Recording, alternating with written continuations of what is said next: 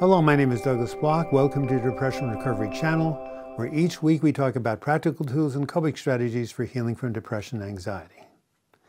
Today is Flashback Friday, a feature in which I republish one of my earlier videos you might not have seen that contains really important coping strategies that will help you attain a better mood. Now, here's today's video.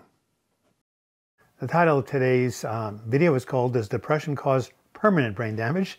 Before we go into that, of course, we have to start with our humor. And, you know, today is, uh, I think it's the 12th. Hey, it is a lunar, uh, it's a solar eclipse day. Wow. Anyway, it's also the fifth day of the Tour de France. And uh, for those of you who follow it, uh, uh, Britain, British guy, Chris Froome, has won three years in a row. But this year he's getting challenged by a competitor who happened to be bipolar.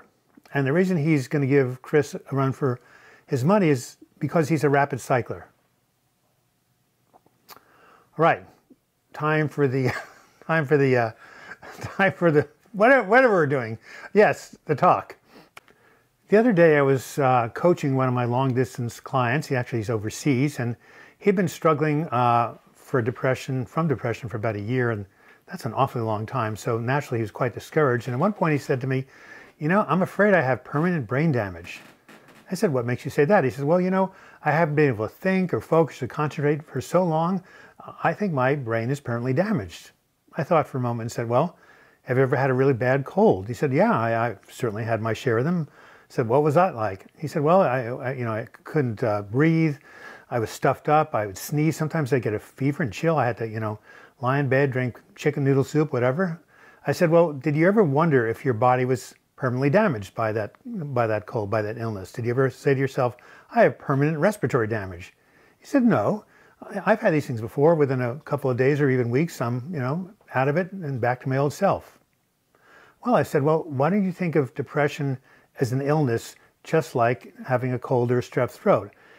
Depression is an illness of the brain. The cold is an illness of the respiratory system, or the strep throat's strep throat's an infection. But otherwise, there's no difference. They're both illnesses and you can recover from each of them. Of course, the similarity between a sick brain and an acute illness is not so easy to see. We all know that the latter uh, lasts only a short time. Uh, you know, the immune system kind of takes care of things most of the time. You don't have to do a lot, just sit back, chill out, have some warm chicken soup, and eventually it goes away. Uh, one of my uh, group members recently had a really bad strep throat. I remember he was texting people, oh my God, I'm vomiting and I ache all over and I'm, i have this headache and I can hardly swallow. It sounded pretty bad. He came back uh, to the, um, the group and I said, yeah, well, how was it? Were you bummed out? He said, oh, no, no, I, I had a lot of YouTube videos and I had a lot of uh, podcasts I wanted to catch up on, so it wasn't so bad. I said, you weren't suicidal? He said, why should I be? I knew it was going to be over in maybe two or three weeks max, so I just took the time to, you know, go ahead and focus on some things I wanted to watch. As my uh, group member told me, he knew that pretty soon he'd be up and at him, so it wasn't that big a deal. But with depression, with a depressive illness, there is no end in sight. And here's the important thing. The mental pain of depression is exponentially more painful than the symptoms of a flu.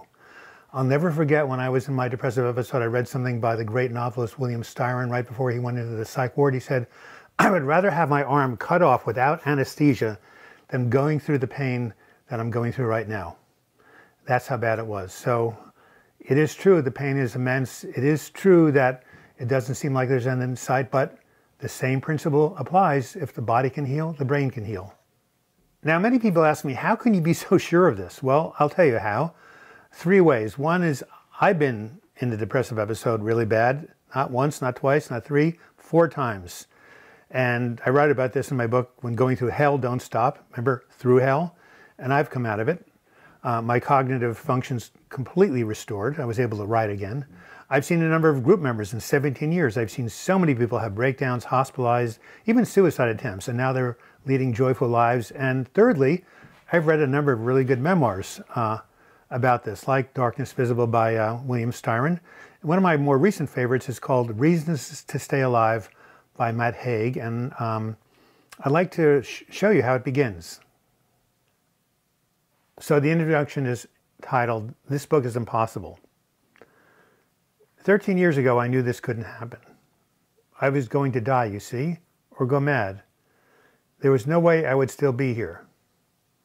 Sometimes I doubted I would even make the next 10 minutes. And the idea that I would be well enough and confident enough to write about it in this way would have been just far too much to believe. Well, he did write the book, and it became a bestseller, and, uh, and he recovered his cognitive faculties, just like I did when I wrote the book When Going Through Hell Don't Stop. People told me I was going to write a memoir. No way, I said, and sure enough, I did. So you see, I told my client, people do recover. Your brain is not damaged.